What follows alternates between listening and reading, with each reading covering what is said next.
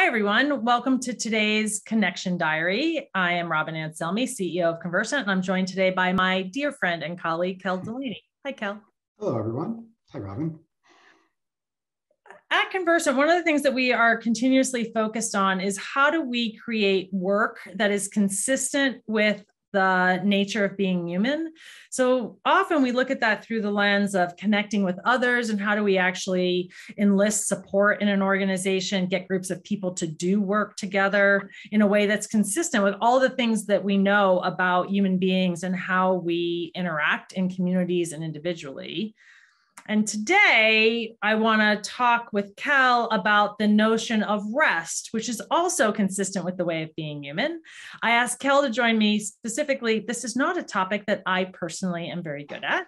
Uh, and Kell has spent a lot of time researching rest and in particular intentional rest and so i thought that would be a great conversation for us to have as we approach the end of the calendar year so, Kell, when I when you think about rest and its role in organizational life, what comes to mind for you?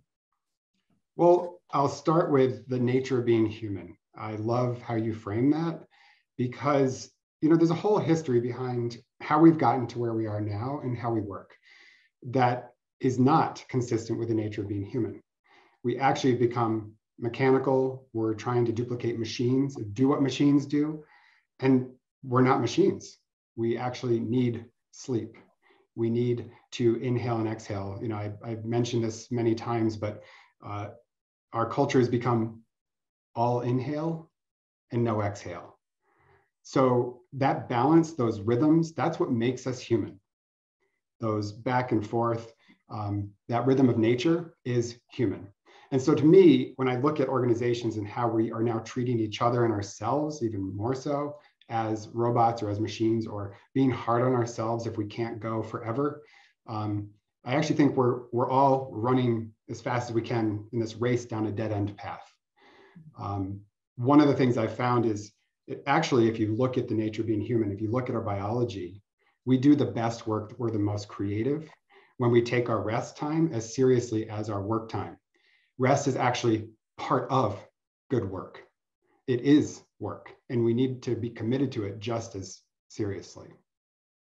And so when you think about rest in the context of how we do that, right? Get, again, the marriage of the practical and the profound.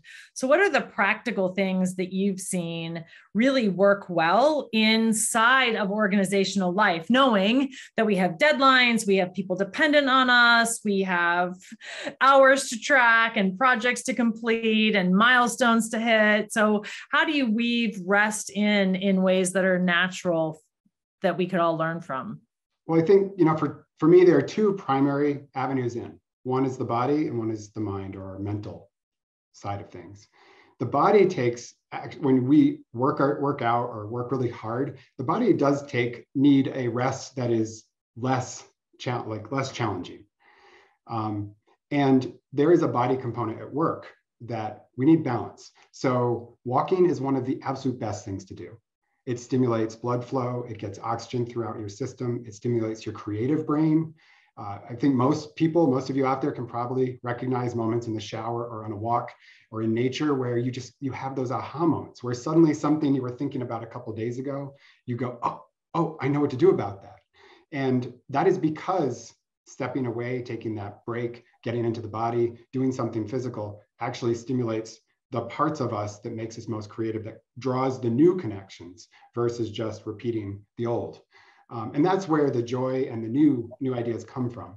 The other great thing about walking or moving the body is when we're walking with someone, even if it's on a phone, it stimulates a part of us that wants to connect with one another. And so we collaborate naturally without even having to put much effort in. So that's another big thing. And then just practically throughout your day, getting up every 25 minutes to stand up and walk to get a tea or do a couple squats or push-ups against the wall or anything you like to do that gets your body moving for a few minutes will keep you refreshed. And it actually counters the lethargy that comes with just sitting all day long.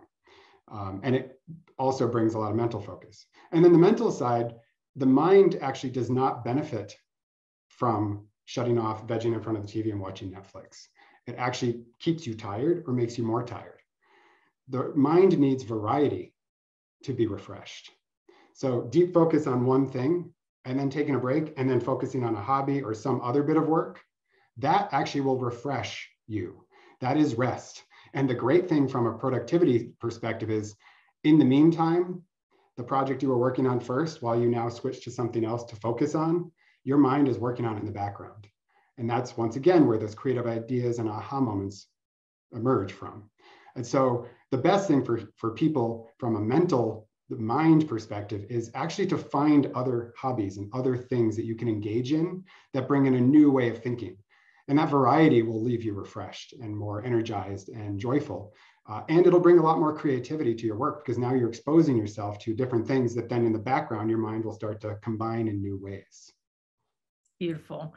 I we do walking meetings often. You and I, uh, we had one last week. They really are such an easy, simple thing that we forget is possible, right? I can grab my phone and walk out the door, and you can do the same, even though we are I don't know how many miles apart, uh, and still be sort of together in that conversation and in that meeting uh, virtually. One, so, one other, one other thing, Robin, actually, that you have me thinking about that I also think is really important and it's tangentially related to those two, is having limits. Hmm. So if you, we all have endless to-do lists.